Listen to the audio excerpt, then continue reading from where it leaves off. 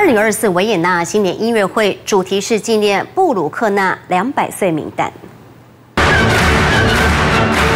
熟悉的旋律，美好的乐章，维也纳爱乐乐团的新年音乐会登上维也纳金色大厅。今年刚好是作曲家布鲁克纳两百岁的生日，当然特色就是要把布鲁克纳的音乐，他写的一个 Land 的舞曲，透过改编以后放到新年音乐会里面来，让大家感受到。纪念作曲家布鲁克纳名旦，维也纳爱乐乐团将透过音乐向全世界传达希望、友谊与和平。同时，指挥家也是亮点。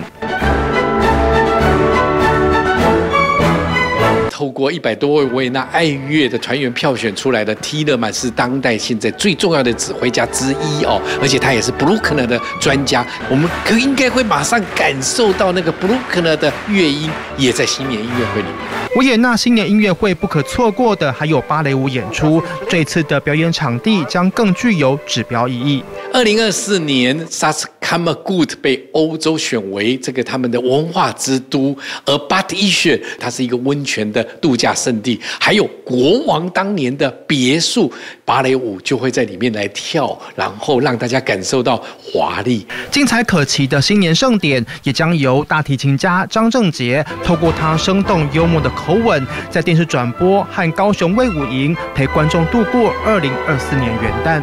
东闻新闻蔡炳如、陈建豪在台北报道。